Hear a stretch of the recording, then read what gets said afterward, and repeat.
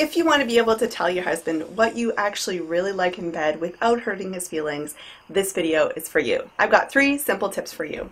The first one is to be clear. You don't want to be relying on confusing moans or subtle shifts or even mind reading. It just doesn't work. Leave nothing to the imagination. For example, I like you to hold the back of my head in a comforting and relaxed way. Secondly, be concise don't go about explaining why you like a certain thing or defending why you don't like something. Just be really, really to the point. And if you're clear, you navigate around the possibility of triggering his I'm not good enough, I'm a failure warning systems. Just say what you want in a kind way and then stop. And thirdly, this is one of the most important ones, be confident because you like what you like and you don't like what you don't like. And you don't have to defend that, you don't have to explain that. It's just the truth. You know what? Your husband, he is telling you when he doesn't like something and he's telling you when he does like something.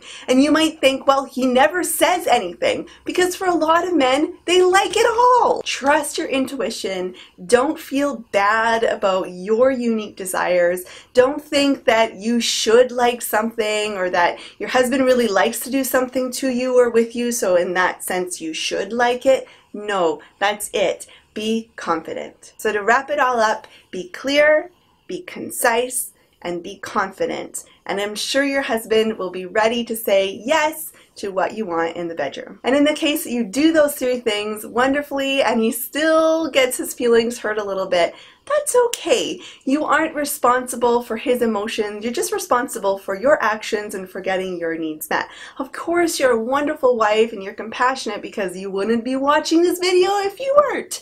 But still, you can let him have his own experience and let yourself have yours. If you've enjoyed this video, give it a thumbs up, like it, share it if you feel comfortable, and if you are looking for more tips on how to want it more without increasing expectation and pressure from your husband, I have a free video for that and it's down below. I hope you have a great day. I'll talk to you later. Bye!